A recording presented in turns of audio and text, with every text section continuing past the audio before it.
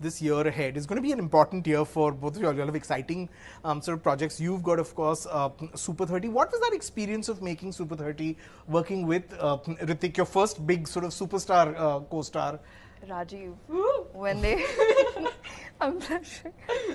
Doing scen- scenes with Hrithik, it will it would be written on the script, but when we would perform, it would be elevated, and I was like, damn, uh, That's what a Hrithik is actor such a good yeah. performer. Yeah. I mean, we all forget that he's a good performer, Performer. because he's so good looking Right. that we it's easy forget he's distracted by that. Yeah, Yeah, yeah. yeah, yeah. uh, it's like a dream come true for me Right. and uh, he's very supportive and i can't i can't there's no even when i walked into his trailer once to chat about the scene i saw him watching something on youtube and he was still trying to learn some dance move was Right. doing something So he's, an, he's constantly sort of trying to and he's working he's he, like he's a star he doesn't need to work on himself but he's Right. working